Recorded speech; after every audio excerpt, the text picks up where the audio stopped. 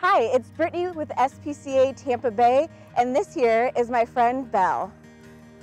We're getting ready for our 30th annual Pet Walk at North Straub Park on Saturday, April 17th.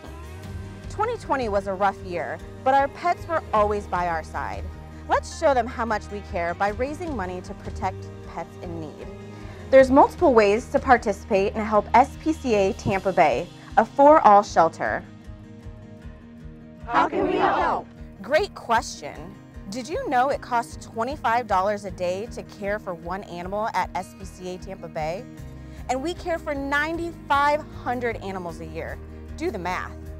It costs $50 to assist wildlife and $100 to pay for one shelter animal's medical care. Did I mention this year's Pet Walk is free to sign up? Free? That's right, sign up is free. How can I participate? You can join us online virtually. Just log on to our social media channels on the day of Pet Walk to celebrate with us. And you can join us at North Straub Park in downtown St. Pete. And if you're at the park, we'll keep it safe, fun, and we'll social distance. Except for the dogs, they don't really social distance.